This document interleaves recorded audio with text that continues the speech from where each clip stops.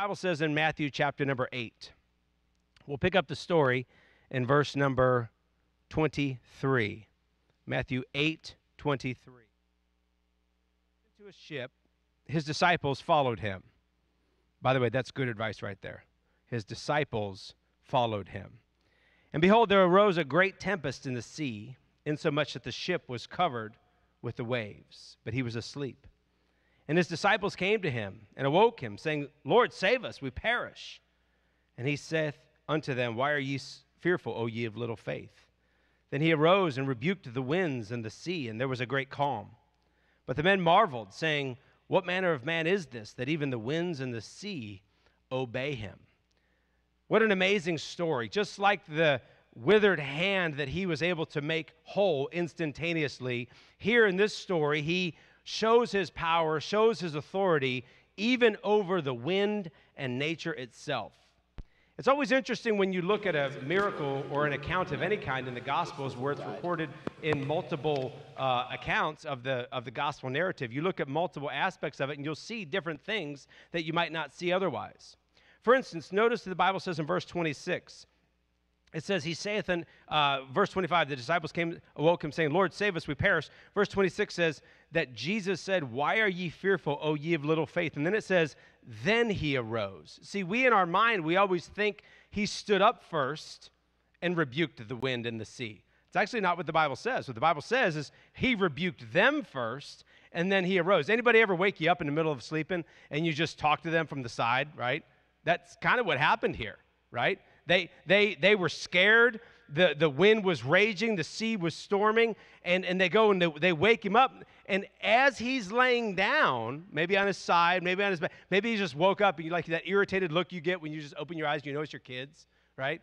And, and, and he, he's, the Bible says he uh, rebuked them first, and then it says he arose and rebuked the storm. Turn over in your Bible to Mark chapter 4.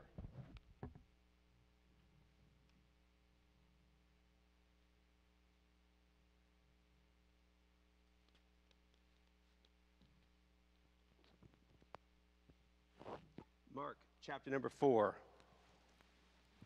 This is a parallel passage to what we just read in Matthew chapter 8. And in Mark chapter 4, we're going to see a different perspective, Mark's perspective. Mark was not an apostle, he was not one of the 12 disciples. He was probably trained by Peter. And so this is probably to some degree Peter's version of what happened, but either way, it's still inspired scripture. It's still in the text. And so this is another perspective, the same perspective, but uh, a little less information in some areas and a little bit more information in other areas. And just remember when you read the gospel accounts and you see differences within the gospel accounts, remember the one thing those are not contradictory accounts. Those are complementary accounts. That's additional info that's given in one gospel that may not be given in another gospel.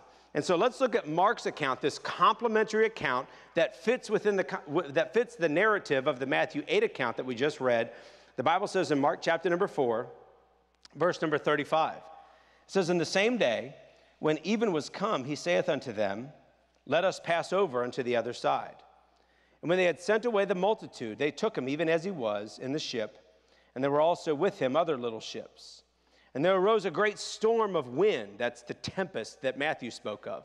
And the waves beat into the ship so that it was now full. And he was in the hinder part of the ship, asleep on a pillow. And they awake him and say, Master, carest thou not that we perish? perish? And he arose and rebuked the wind and the sea, and uh, said unto the sea, Peace, be still. And the wind ceased, and there was a great calm. And he said unto them, Why are you so fearful? How is it that ye have no faith? And they feared exceedingly and said one to another, What manner of man is this that even the wind and the sea obey him? Notice a couple of things here. Notice here in this account, he rebukes the apostles after he rebukes the sea. Did you notice that? In verse 20, uh, verse 38, he was, a, he was in the hinder part of, a, part of the ship asleep on a pillow. They awake him, said, Master, carest, carest thou not that we perish? He arose and rebuked the wind. And so, what we have is when we put these gospel accounts together, what we see is the clearer picture is that when they woke him up, he rebuked them. He gets up, he rebukes the sea, and then he rebukes them one more time, just for good measure. And so, he rebukes the men, he rebukes the wind, he rebukes the men again. And so that's just one of those little nuggets that you don't notice if you're just reading through the Gospels. Uh, when you study your scriptures, you should at times, especially when there's, multi- when there's stories that are recorded in multiple places, compare them, put them together, and you'll get a, big, a bigger, greater picture of what really happened. I want to preach this morning out of this text in, in Mark chapter 4, and I want to preach on three things that you see in this text. I want you, I want you to see the presence of Jesus I want you to see the peace of Jesus, and I want you to see the patience of Jesus. First of all, notice the presence of Jesus. The Bible says in verse 35, and the same day, uh, when, the, when the even was come, he saith unto them, Let us pass over into the other side. And when, uh, when they had sent the multitude away, notice this phrase, they took him even as he was into the ship. Notice, they took him as he was. They didn't try to change him, they didn't try to make him fit some narrative that he was not. They took Jesus as he was. It is an interesting thought in and of itself that the creator of all was even interested in coming on board Peter's little boat. Now, I don't know if this was Peter's boat here. What I do know is the Bible says one time Peter, uh, Jesus entered into Peter's house. And I, another time the Bible says Jesus entered into Peter's boat. And so uh, it, it seems to me that this might have been Peter's boat, although the text doesn't say that. It was somebody's boat. And here's the thought why would the creator of all that created the oceans be concerned about some little boat? He was interested in being where his disciples were. He was interested in having that relationship with his disciples. Peter might have owned the boat, but Jesus made the sea. And there's a big difference in Jesus' ability and those seasoned professional fishermen's ability, and yet Jesus was still interested in them. And it's an interesting thing that Jesus was interested in going on that little ship. He's also interested in coming into our little ship in our lives, the vessels that we call our lives. He's interested in, in being with us. He's interested in being with us as we sail through the seas of life. You see, Jesus Christ desires to come on board our ship. He wants to be that close and personal Savior that the Bible puts him forth to be. He is not some sort of far off, distant being. He wants a close and a personal relationship. But if we don't invite him, he's not coming on board. He is a complete gentleman. If you want to reject him off of your ship, you don't want his presence, he is not okay with that, but he will abide by that. He will not force himself into your life. But if we do decide to invite him on board, we must do what these men do. We must take him as he is. You see, we don't want Jesus to be anything other than as he is. We think that he want, we want him to be something different, but in the end, we don't. We want to take Jesus as he is. We don't take him as we want him to be. You see, we don't take Jesus and make him into the soft and weak male that some religions and some people make him to be.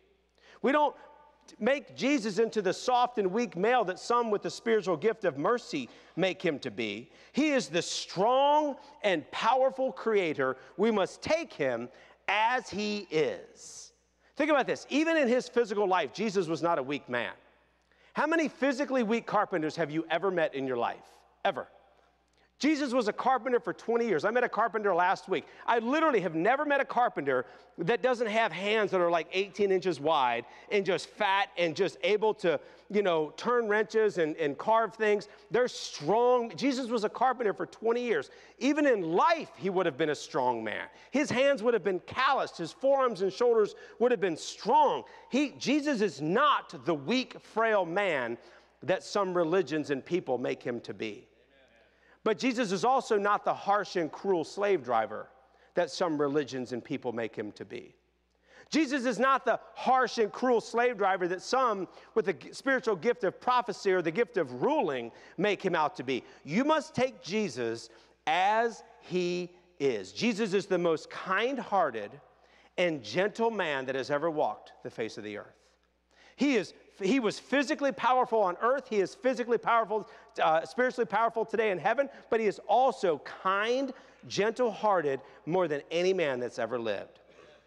You see, Jesus is not weak because he also has the highest standards of excellence for your potential for anybody that has ever lived. John chapter 1, in fact, says of Jesus that he is full of grace and truth. What that phrase means is he is a perfect balance of everything that we need. We need some people to be truthful to us, we need others to be graceful to us. We need that perfect balance, and whatever that balance is, Jesus Christ is fully and completely balanced in who he is. He is holy, but he is also gracious. He is righteous, but he is also merciful. You must take Jesus as he is. We're talking about his presence, taking Jesus with his presence. Did you get into his presence this morning? You see, you must take him as he is. The Bible says in Matthew chapter 11 that he wants us to learn of him. You cannot learn of Jesus Christ outside this book. Understand, you can know that God exists away from this book. You do not need the Bible to know that God exists. You have your conscience that has the Ten Commandments written on it that point you to God. You have creation that points you to God. You do not need the Bible to know intellectually that God exists, but you do need to know the Bible to learn of Him. You do need the Bible to take Him as He is. You do not know Jesus outside this book. You can know intellectually that God exists. You will not know who He is personally outside this book. You will have a slanted, a tainted version of who God is if you are not in this book. How can you learn of Him if you have not been in His presence in His book? I, I, we would be embarrassed if we took a poll this morning of people that got ready on their outward appearance this morning and cared nothing about their inward heart. We would be embarrassed of the women that had their makeup on just right and their hair just right, and you didn't bow your knee. You didn't talk to the Lord. We would be embarrassed of the men with their suit and their tie and their good looks. And you didn't talk to the Lord. We would be embarrassed of the teachers that stood and taught children last hour, and you didn't get taught this morning by the Word of God. You didn't get in His presence. These men wanted the presence of God, and they wanted the presence of God as He was. We must take Him as He is. Did you get in His presence this morning? Did you learn of Him? Why do we need to take Him as He is? It's actually very simple because He's not going to change for you. You take Him as He is, or you don't take Him at all. He will not change for you. He is loving, and you are not. He is kind, and you are not. He is calm, and you are not. He is wise, and you are not. He is strong, you are not. He is holy, you are not. You take him as he is, he's not going to change for you. Amen. But hear me, he will change you. You see, you take Jesus as he is, someone's got to change. Amen. And it ain't Jesus. He will not change for you. But you take him as he is, and he'll change you. You don't know him without the knowledge of Scripture. You, people think that they have taken Jesus as he is. Somebody that thinks that they've taken Jesus as he is and they don't know the Bible, they are literally committing idolatry. Outside of the Bible, if some person says, Yeah, I know Jesus, I know God, I know the Lord, and if they don't know the Bible, they have manufactured, they have made up, they have created an image of God in their head that they like, and then they worship that. That is idolatry. You take Jesus as he is, or you don't take him at all. Amen. It is truly that simple. And these men knew that. They took Jesus as he was. Listen to me, they didn't take the Baptist Jesus, Amen. they took Jesus. They didn't take the Catholic Jesus, they took Jesus. They didn't take the Mormon Jesus, they didn't take the Methodist Jesus, they took the Bible Jesus as he was. And that is who you must take. Get into his presence, get into the presence of Jesus as he is. Please hear me. Take him as he is, or don't take him at all. Number one, the presence of Jesus. Number two, the peace of Jesus. Notice what the Bible says in verse number 37. And there arose a great storm of wind and the waves beat into the ship so that it was now full. And he was in the hinder part of the ship. Watch this phrase asleep on a pillow. Let me ask you a question. Show of hands. Who has accidentally fallen asleep on the couch watching TV or something, reading a book? Raise your hands. Okay? You've accidentally fallen asleep. Guess what you never do? You never accidentally fall asleep on a pillow. Right? When you're on a pillow, you fall asleep on purpose. Right? You might accidentally fall asleep on a couch. You might accident. Listen, all right. Some of us, who's fallen asleep driving? You've kind of dazed. Oh, the rest of you, y'all lying. All right. You can accidentally fall asleep a lot of places. You don't ever accidentally fall asleep on a pillow. So his head is on a pillow. He went to sleep on purpose. He was supposed to be sleeping. The apostles, they were worried, they were fretting. Not him. He had peace in his heart, he had peace with God. This storm was a torrential downpour. The, downpour. the Bible calls it a tempest. That's tempestuous. This is a terrible storm. And Jesus Christ purposefully goes to sleep, think about it, in the middle of their storm. By the way, this sleeping Jesus didn't mean that he had given up control of the universe. No, no, this sleeping Jesus simply, you see a glimpse into his humanity. Remember, Jesus Christ was not 50% God, 50% man. It's not who he was. He was 100% God, clothed in 100% flesh. He was 100% God, 100% man. He is the God man. And here you see his humanity as he sleeps. In fact, this is the only time in the Bible that you'll see him sleeping. And so Jesus is woken up. The Bible says in verse uh, 38, he's sleeping, uh, he's sleeping on the hinder part of the ship, sleep on a pillow. They awake him saying, Master, carest thou not that we perish? I mean, that, that's kind of a, we do this. I, I'm, I'm criticizing these guys, but we do this. Think about that question. Jesus, do you care that I perish? Like, no, I don't care that you die, Andrew. No, you're good. No, Peter, you can just die. You're, I, I don't. Of course he cared. He, notice he doesn't even he doesn't even acknowledge the question. He doesn't even answer it because he knows how foolish it is. He doesn't challenge them on it. But notice he doesn't even address the question. They say, "Carest them not that we perish." Verse 39. He arose, rebuked the wind. Remember, we learned from Matthew 8 that he rebuked them first, then the wind, and then the Bible says, "And he said unto the sea, Peace be still." Now I can't imagine this. Uh, we were down at Lake Cumberland. Uh, I don't know, a number of years ago, and I was out on the back deck of the house that we were at and reading my Bible and praying, and nobody had been on the lake yet. It was probably 6:30 or 7 in the morning. I'm not really sure when. But where we were, there was not a single ripple on the lake. It was literally a sheet of glass. You could see the reflection of the trees in the lake perfectly. I mean, that was completely calm. I don't know if this went that calm, but can you imagine the raging tempest of this sea, the waves beating into the boat? Listen, have you ever gotten knocked down by a wave? They're powerful, they're unpredictable. You don't know which direction they're coming from. These professional seasoned fishermen would have been physically knocked down by this water, and all of a sudden, Jesus, think about it, on the puh of peace, that water went calm. The moment he said, Peace, be still, there was an immediate calm over the entire sea. But I'm not drawn to the power that he has in controlling the ocean. I'm drawn to his sleeping. You see, this is not the first time that a preacher was caught sleeping in a ship in the middle of a storm. And yet, here's Jesus sleeping, a preacher sleeping in the middle of a storm. There was a preacher in the Old Testament that actually did the same exact thing. Nearly every Old Testament prophet that was sent somewhere was sent someplace in Judah or in Israel. God sent his prophets to, to preach to his people. Jonah, though, was the first prophet ever sent out of Israel. You see, God was interested in reaching, in getting his message, God's message to God's people, so he sent his prophets to Judah. he sent his prophets to Israel. Jonah, though, was the first prophet that went out of the nation. He was literally a traveling missionary. He went to Assyria. And so, what we learn by that is God is interested in getting God's message to God's people, but God is also interested in getting God's message to God's enemies. And that's who Assyria was. It was one of God's enemies, and Jonah knew that. Jonah hated Assyria. He hated Nineveh, hated them.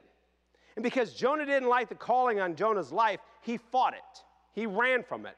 By the way, it's never a good thing to fight and run from the calling that God has placed on your life. Jonah fought God's calling and convinced himself that he was okay. The Bible says that Jonah went down to Joppa and found a ship. The Bible says that Jonah went down into the ship. And that's very, very, uh, uh, uh, that's a telling word where when you run from God, when you run from His presence, when you run from His will, you are in fact headed down. But the Bible doesn't stop there. the Bible says that after Jonah went down into the ship, the Bible says he paid the fare thereof. You see, when you go your own way, you'll pay for it. You will pay for it. Go your own way for six months, six years, six decades. You'll pay for it. Your children will pay. Go your own way. You'll pay the fare thereof. Jonah runs from God. He finds a boat. He falls asleep in the boat. Jonah does. And you probably know the story. The storm comes up, this tempest, and, and, and, and the shipmaster comes to Jonah and says, Awake, thou sleeper, and call upon thy God. So think about it. It's just interesting about Jonah and Jesus that both got caught in a terrible storm. Both fell asleep in the midst of a storm. Both were woken up by the ship's shipmaster. Hear me, please hear me. They both had peace in the midst of the storm. I think you would agree with me. Jesus was peaceful enough to sleep in the midst of the storm. Jonah was peaceful enough to sleep in the midst of the storm. They had peace, but listen to me, there was a vast difference between the peace that Jesus had sleeping in the boat in the midst of the storm and the peace that Jonah had sleeping in the boat in the midst of the storm. They both had peace, but Jonah's peace was a false peace from his flesh that convinced him that he was okay. Jesus' peace was a true peace from his spirit that convinced him that he was okay. They both thought that they were okay, but only one was correct. Jesus had a true peace, Jonah had a false peace. And so, what I'm drawn to after the presence of Jesus, I'm drawn to the peace of Jesus. Let me ask you a question Do you have peace in your life today? Do you have peace from God, or do you have a false peace? Thank you, Brother Darren. Man, everybody coming up. Brother Mike came up, Brother Josh came up, Brother Darren. Appreciate that, sir.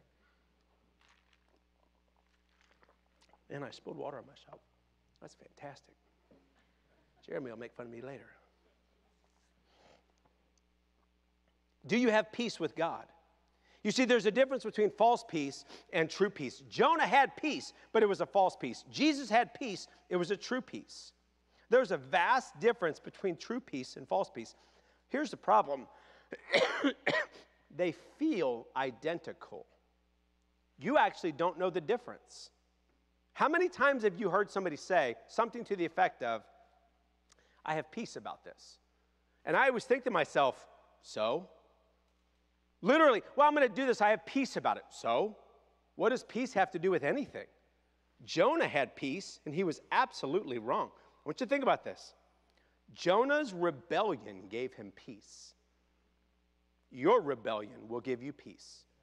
You will convince yourself that you're in the right when you are completely going against God's word. Well, I have peace about it. Who cares if you have peace? Jo- Listen, you woke Jonah up and asked him, Jonah, are you thinking clearly? Talk to me, church. What would Jonah have said? Jonah, are you thinking clearly? What would Jonah have said? Yeah, I'm good. He wasn't good. He had a false peace from his flesh that was not of God. It was of the devil, it was of the world, it was of his flesh. You wake up, Jesus, Jesus, are you thinking clearly? Yeah, I'm thinking clearly. And you immediately think, yep, he is thinking clearly. False peace, real peace. they feel exactly the same. Here's the difference Jonah's rebellion gave him peace, and Jesus' submission gave him peace. Amen. Which one do you have? In your heart right now, is there a spark of rebellion? Is there a desire for submission? Remember the difference between submission and obedience. Obedience is obeying outwardly, submission is obeying inwardly. Submission is actually an issue of the heart. You can obey your parents without submitting to them. You can obey outwardly without submitting to them. Obedience is outward, submission is inward. Rebellion is also inward. So, my question to you this morning the peace that you say you have, is it from rebellion or is it from submission? The way to tell is to go back to the book. Remember what Jonah, remember what the Bible says in Jonah. The Bible says in, in the book of Jonah, the word of the Lord came to him. And so when Jonah was in rebellion to what the word of the Lord was, it did not matter what peace he said that he had, he was wrong. And it does not matter what you think you are doing. If you are in contradiction to this book, I do not care what peace you think you have, it and you are wrong. When I am in contradiction to this book, me and my peace are irrelevant. They don't matter. This trumps everything. That is the peace that Jesus had. He did not have a false peace, he had a true peace. And, and, and you sort of know this. Watch. Have you ever just felt good after you gave somebody a piece of your mind? It feels good. You like I say that because all of us know that feeling. What is that? That's a false peace. Well, they needed it. not from you. Not from me. That's a false peace. Well, that felt good. Yeah, that's a false peace. Every one of us know that feeling. So I'm struck by the presence of Jesus. I'm struck by the peace of Jesus. Number three, I'm struck by the patience of Jesus. Notice what the Bible says in Mark chapter 4. The Bible says in verse 37 And there arose a great storm of wind, and the waves beat into the ship. Watch this so that it was now full. You know what that word now means? It means there was a time when it wasn't full. There was a time when it was just a little bit of water. There was a time when the water was up to the ankles. There was a time when the water was up to the shins. There was a time when the water was up to the knees. But now it was now full. Matthew says that the ship was covered in waves. Here, the Bible says that the ship was full.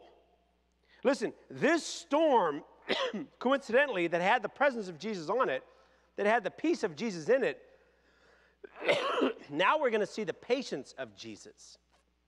These apostles were exactly where they were supposed to be. They were in God's will, and yet this storm is still devouring them. And through this, I want you to see the patience of Jesus. Storms are an interesting thing.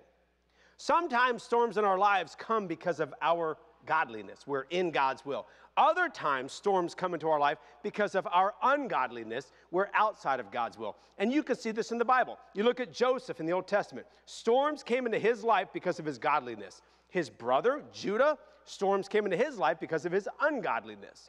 You look at Daniel. Storms came into Daniel's life because of his godliness. You look at Joseph. I'm sorry, um, David.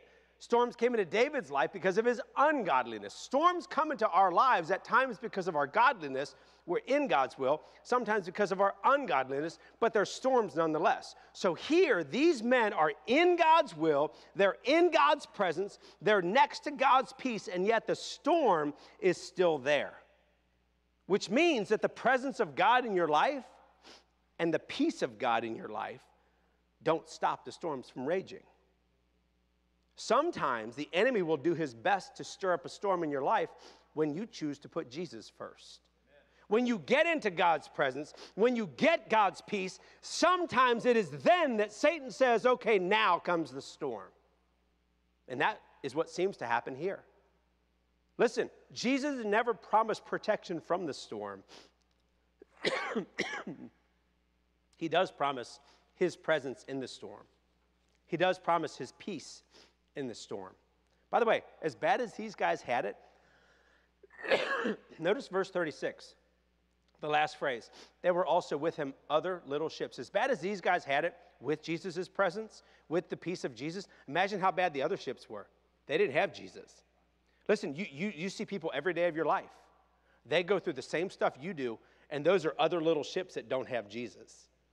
Think about how bad, think about how bad you cling to the Lord sometimes and don't know what to do next. Think about those other little ships out there without the presence of God, without the peace of God. And you think to yourself, how do they survive? How are they not sunk? By the way, this ship should have sunk. This ship, the Bible says, was covered. This ship, the Bible says, was now full. Listen, I'm not a sailor. I don't know much, but one thing I know about ships when they're full, they don't float. When they, they're full, they sink. Boats and ships are designed to be on the water, navigate through the water. They're not designed to hold water. I don't care if it's as big as the Titanic. When a ship holds enough water, if it's full, it's sinking. But because the master of the seas was on this ship, it didn't sink. Even Satan couldn't sink this ship. The creator of water was on this ship, it was not going down. But I am drawn to the fact that it was now full, which means the apostles had time to come to Jesus. And you knew what they did? They did the same thing that you and I do. They waited to the last minute. They waited to the last minute to come to Jesus. Peter and Andrew and James and John, they're professional fishermen, legitimately professionals in their craft. They had been on the sea hundreds of times, probably had been in dozens of storms, maybe not quite like this. They knew what to do, though. They're beat with the waves and the water's up to their ankles, and Peter says, We're good. Nathaniel's in the back saying, Man, wake up Jesus. Thomas, uh, Thomas says, Man, wake up the Lord. James and John and, and Andrew, the real fit, they're like, No, we got this. We got this. And they waited until the absolute last minute to wake up Jesus. You could hear them arguing as Nathaniel and Thomas and some of these other men that were not fishermen wanted to wake up the Lord. And Peter, who was the leader of, his, of the uh, apostles, uh, he didn't want to. He thought he could handle it. He thought he could handle the storm that was in front of him. What he did not know is that he could not handle this storm without the Lord. They finally wake him up. And they thought they could handle the storms in their lives, which is why it took them so long to wake up Jesus. Think about this. Why does it take us so long to wake up Jesus? The moment that the storm came up, they should have woke up the Lord. They should have woke up the master of the sea the moment the water was at their ankles. They should have woke up the master of the sea when the water was at their shins, but they didn't. They waited and waited and waited and waited until it was almost too late. And when everything else failed, they said, Well, let's see if God can help. They did what Jairus did with his 12 year old daughter. She was at the point of death. He knew that she was about to die. He had already planned the funeral. Family were there, musicians were there. He knew she was dying. And in the last moment, Jairus says, Well, let's see if Jesus can do anything. The woman with the issue of blood for 12 years, she waits to the last moment. Let's see if Jesus can help. The apostles, oh, the storms of my life, I think I could fix it. I think I can handle it. I'm a fisherman. I'm Peter. I'm James. I'm Andrew. I'm John. They can do nothing against this storm. Probably a demonically inspired storm. They could do nothing. They were weak, frail men. And in the end, at the last moment, they said, Well, let's see if Jesus can help. I cannot tell you how many parents I've seen do this through the years. Amen. They bring a kid to the youth group. Well, you know, the ball club didn't help, Boy Scouts didn't help, the school, clubs at school couldn't help. Maybe the youth group can help. And they are, in effect, saying, Can Jesus help? I've tried everything else for the storms of my kid's life. Maybe Jesus can help. We get that mentality from our human nature. You see that in these good men here. Here's what I'm saying stop waiting till the storms are full in your life. Run to Jesus now. They thought they could handle it, but they couldn't. think about it. They couldn't handle the storm that was in their life when it was in God's will, when Jesus was there let alone the storms that come into our lives when we're running away from Jesus, like Jonah did. They couldn't handle the storm that was a part of God's will for their life, let alone the storms that come into our lives because of the poor choices of us or others. Today, have you reached out to the Lord for the storms in your life? Today, not are you going to, today, have you reached over and woken up the Lord for help? I know he doesn't sleep any longer. I know he's in the spirit, but understand, spiritually speaking, have you reached over, touched the Lord, and said, Lord, I need you? You see, some of you need to reach over and wake up the Lord and ask him to save you. Please hear me. Please hear me. I'm going to say this very kind and graciously. Some of you, if you died today, you're going to hell. You are going to hell. and you need to reach over, wake up Jesus, and say, Lord, save me. I perish. Reach over, Lord, carest thou not that I perish. And reach out by faith and get your sins under the blood. Listen, there is a fountain filled with blood, and He wants to cleanse your sins of that. You need to reach over and get your sins under that blood. Reach over and wake up the Lord. Others of you, you have storms in your everyday life, and it's just a part of God's will for your life. And, and, and you're fighting in your flesh. And you're trying to do your best, but you're weak and you're frail. You're running out of gas because you haven't reached over and woken up the Lord. You haven't reached over and said, Lord, carest thou not that we perish? Lord, I know that you're, uh, I'm in your presence and I want your peace, but Lord, please help me. And then others of you, you, you have storms in your life that you have brought in that are outside of God's will. Your decisions or the decisions of somebody close to you have brought in storms into your life. You too need to reach over. Listen, you're not, think about this. This was Peter, James, John, and Andrew, four legit professional fishermen, and they couldn't handle a storm that was in God's will for their life. You think you can? There's no way. They are frail men. You and I are frail men and women. Reach over, whether the storm is for salvation, the storm is because of God's will, or because the storm is outside of God's will that you've brought into your own life. Reach out and wake up the Lord. That's where his patience is. We talked about the patience of Jesus, the peace of Jesus, and the patience of Jesus. The patience is because even when they waited to the last minute, what did he do? He helped them. He didn't say, No, I'm not going to be your last resort. You fix it yourself. He didn't do that. He was kind. He, was, he rebuked them. He rebuked him twice. He rebuked him before he even got up. Then he fixed the storm, and then he rebuked him again. But he still helped him. And that's what he will do for you. He stands there waiting for you to wake him up, waiting for you to reach out to him so that he can help. He's not going to take your storm away, but he will fix you in the midst, in the presence of your storm. Father, thank you so much for all that you've done for us, all the blessings in our lives. Thank you for the Lord Jesus Christ. Thank you for the fact that we can get into his presence, and from his presence, we can get his peace. And Lord, in his peace, Lord, we can ultimately get his patience for the storms in our lives. And Lord, I pray for this invitation this morning. I pray that those who are not saved would get saved, that they would reach over and wake up Jesus and ask for salvation. Lord, those who are going through storms in their lives because of your will or storms in their lives because they've gone against your will. Lord, I pray that they would reach over and wake you up. Lord, thank you so much for being willing and able and powerful enough to help fix us, correct us, but also calm the storms. Lord, thank you so much for loving us. In Jesus' name, amen. You stand for a moment of invitation. Our men will be down here.